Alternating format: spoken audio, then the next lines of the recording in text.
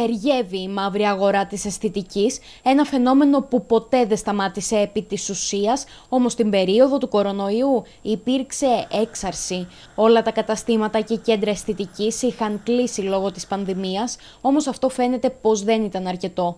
Μία τόσο ευαίσθητη περίοδο που η ασφάλεια του πελάτη θα έπρεπε να βρίσκεται πρώτη στις προτεραιότητες ενός αισθητικού, φαίνεται πως συνέβη ακριβώς το αντίθετο. Μόνο οι επαγγελματικοί χώροι μπορούν να προσφέρουν ασφάλεια και να τηρήσουν τα μέτρα κατά του COVID-19.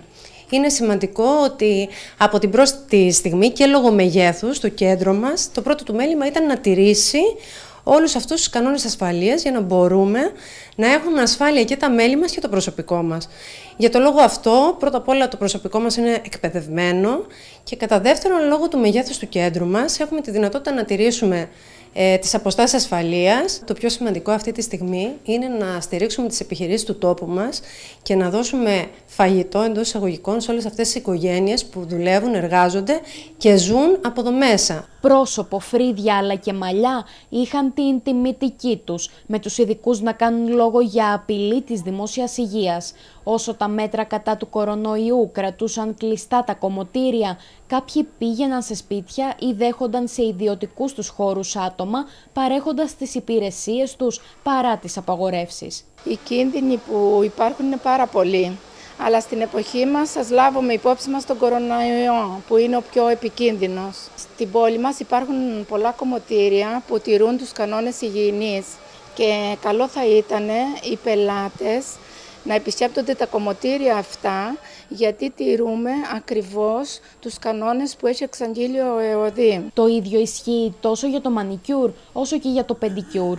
Ένας τομέας στον οποίο ανέκαθεν πολλοί δούλευαν μαύρα, ωστόσο στο βωμό του χρήματος δεν ήταν λίγοι εκείνοι που εκμεταλλεύονταν την επιθυμία πελατών για ένα καλό μανικιούρ, θέτοντας σε κίνδυνο τη δημόσια υγεία.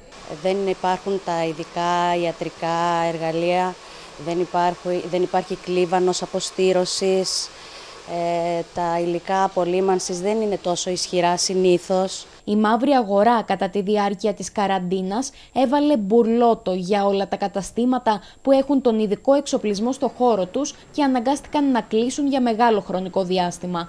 Καταστήματα τα οποία παράλληλα έχουν και πολλές φορολογικές υποχρεώσεις. Δύο είναι τα σημαντικά. Το ένα είναι των υποχρεώσεων που έχει ένας χώρος που είναι ε, επίσημος εφοριακά και σε όλες τις ε, υποχρεώσεις κρατικές που έχουμε και όχι μόνο. Και ο, το δεύτερος, ο βασικότερος που ενδιαφέρει το καταναλωτή είναι ο υγειονομικός.